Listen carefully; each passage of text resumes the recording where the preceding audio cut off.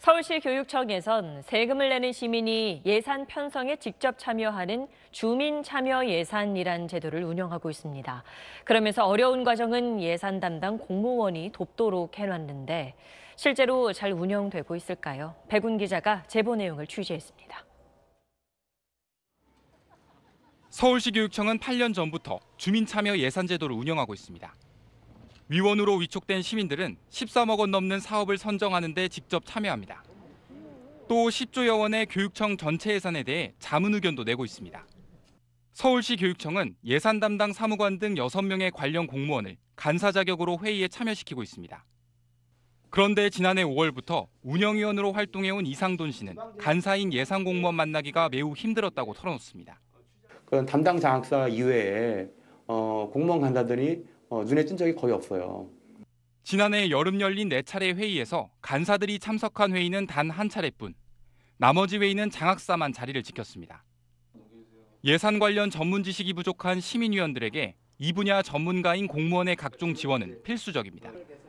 하지만 이런 지원을 받지 못하다 보니 사업 계획서에 대한 제대로 된 점검은 기대하기 어려웠습니다.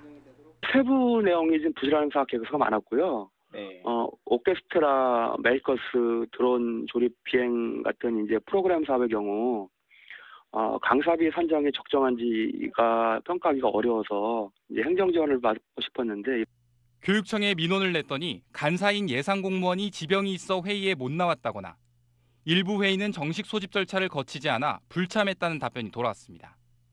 그런데 더 따져 물으니 황당한 사실이 드러났습니다. 저희가 그때가 예산장 할 때라서. 그래서 분명 저 사무실에서 대기하면서 다른 업무 보고 있- 있었거든요.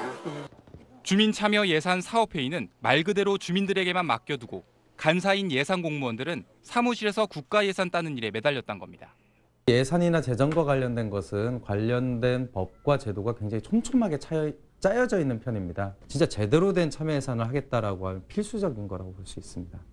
취재가 진행되자 서울시 교육청은 간사인 예산 공무원들이 회의에 상주하도록 철저히 관리하겠다고 밝혔습니다. SBS 백운입니다.